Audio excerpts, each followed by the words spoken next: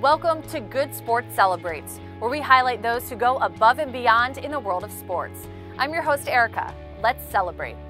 As you probably know, October is Breast Cancer Awareness Month. Breast cancer is the most common cancer among women worldwide. It is, however, often survivable if identified early on. Every year, major sports leagues do their part to raise awareness. Players typically wear pink, and there are many stories of family members who battle this disease. Rarely, though, do we hear stories of athletes who have overcome breast cancer themselves. Good Sport is proud to share their stories. Novlene Williams Mills is a 34 year old Jamaican sprinter who boasts a long and impressive Olympic record. She has medaled in the 4x400 meter relay in four games, including recently in Rio. In 2012, Williams Mills was diagnosed with breast cancer. She underwent a double mastectomy after the Games and was back on the track a mere four months later. She continues to run today and says she does it, quote, for all the breast cancer survivors out there.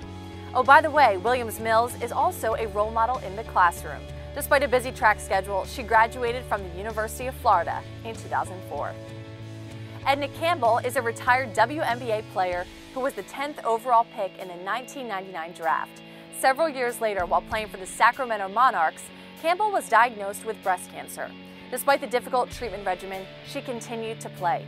In 2003, Campbell received the Kim Perrot Sportsmanship Award for being the WNBA player who most exemplifies the ideas of sportsmanship on the court, ethical behavior, fair play, and integrity. Campbell continues to lead by example today as the director of Breathe and Stretch, a health restoration program for breast cancer survivors.